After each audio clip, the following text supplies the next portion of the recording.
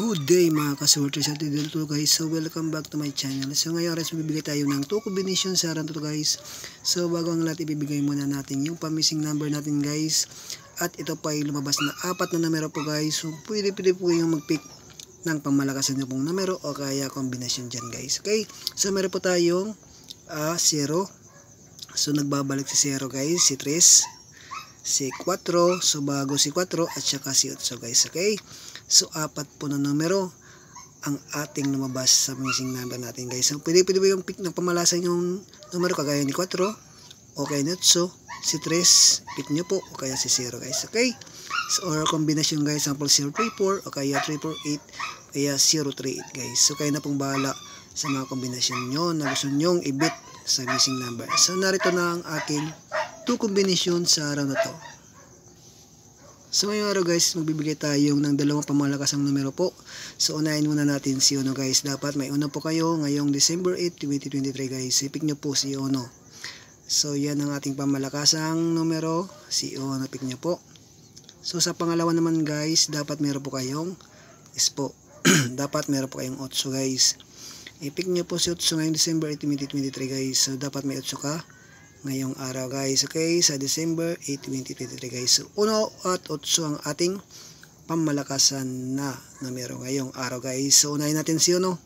So ibibigay muna natin yung aking pamalakasan na kombinasyon para sa inyo guys.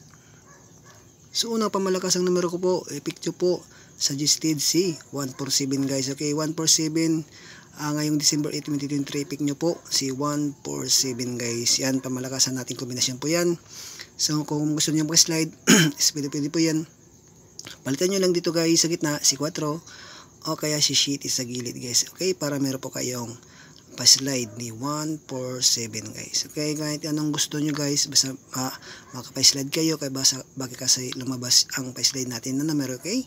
Si susunod na natin si 8 guys. Sa so naman guys, meron po tayong eskalera guys. So eskalera sa December 8, 2023, i-pick nyo po si 876 guys. Okay, si 876 ngayong December 8, 2023 guys, i-pick yan.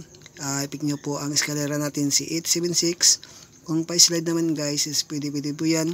So palitan nyo lang si shitty o kaya si size para meron po kayong pa-slide na numero guys. Kung ano ang gusto nyo mga pa-slide guys. Sample si City, palitan nyo kung anong gusto nyo. Palitan nyo ng 4 para mayroon ka 846 o kaya 5 o kaya naman 3 or 2 na pa-slide sa eskalera guys. Okay? So, pwede pwede nyo palitan nyo guys kung anong gusto nyo. Sample, eskalera din, eskalera din gusto nyo.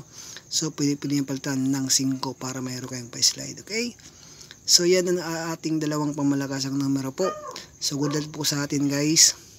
At sana manalay kayo at magkaroon ng pamaskong uh, uh, araw uh, pamaskong araw guys. Okay?